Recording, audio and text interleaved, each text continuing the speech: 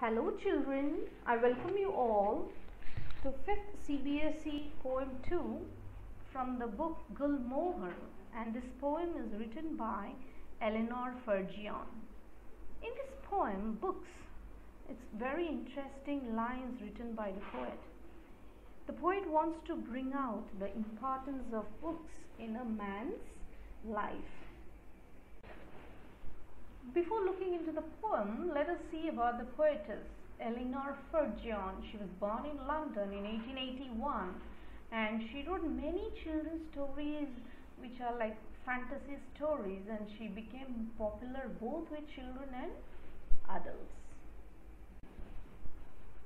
This poem has four stanzas. Let me read the first stanza of the poem for you. What worlds of wonders are our books as one opens them and looks. New ideas and people rise in our fancies and our eyes. The poet, the rhyming words in these stanzas are books and looks. The first and the second line, which are in red, they are rhyming. And third and fourth line, it is rise and eyes. So the poet says that book is a magical thing. It is, a book is a world where a lot of wonderful things happen. So once a book is read by a child, with every page or the turn of every page, he looks into a new world. He gets new ideas and people become aware and it also helps them to awaken and see the world around. They can explore, they can find a lot of information in the book. It's a treasure house of knowledge. That's what he, the poet, is beautifully describing in this stanza. Now, coming to the second stanza of the poem, the room we sit in melts away and we find ourselves at play with someone who, before the end, may become our chosen friend. Wow, these are some so beautiful lines written by the poet. The poet says, though we are sitting in a study room with a book in our hand, but as we read, every word goes through our eyes into our brain. What happens? It carries us from into a different world, isn't it? That means books carries us into a different world where each reader has a role or one gets to they become very much involved in a character that at the end of the book as they finish reading the book that book will become his or her best friend and from then on they start loving to read books they love with books they love its narration, they love the stories, characters, the imaginary world. It's really a stress buster. So they get a good company though they are all alone in a room. And books are said to be the best friend. And coming to the third stanza of this poem, or we sail along the page to some other land or age. Here's a body in the chair, but our mind is over there. Here the rhyming words are page and age, chair and there. You know, books really take us to some other land or any time. They can take us in future or in the past. Wherever you want to go, it is through books. Okay, so physically you are present but mentally we sail out with the words. So books are a good companion. They help us to fly across the world and take us into different times or ages or of time. Our body is present in this world, but mind can travel, imagine, see, taste, touch, fight, feel.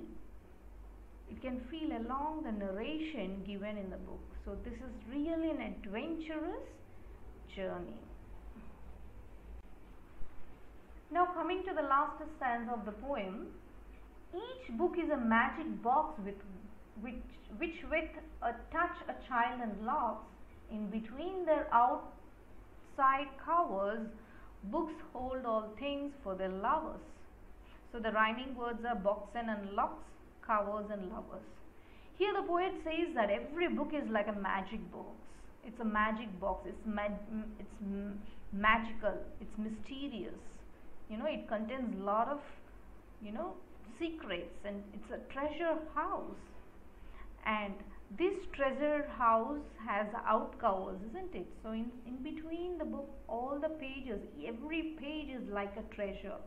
And every child, as she touches every page, he or she unlocks a mystery or a treasure or a bundle of information that he gets educated, aware, and he loves. So there are different types of books.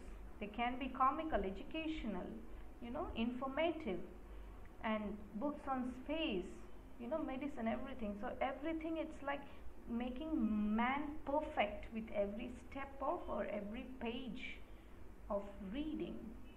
So book lovers will find it all the fascinating information and stories and adventures inside a book. And the poet says that the magical effect is revealed. Increasingly, it falls on the readers as they touch and turn every page of this book. Through this, the poet says that the beautiful lines described by the poet, it says that once a person is trapped in this pleasure of reading book, even though he is alone, he enjoys a lot with a book. So that's very beautifully defined. And this decides a person or encourages them to read all sorts of books and besides reading is a very good habit to enrich their language and you know speech. The rhyming set of words in this poem are books looks rise eyes away play end friend page age chair there box locks covers and lovers coming to the last part of the the theme of the poem is that there are different types of books, but books may be frictional, educational, poetical, or for reference, but whatever, they are a major part of our life. They'll constantly remain that way. And in this fast running life, it is a way of true escape from one's day to day realities. So, books are magical. It will awaken a man with new ideas to see the world in a different way. So, though you're sitting with a book in a single room, but it is going to make a difference. So, books play a wonderful job in our lives.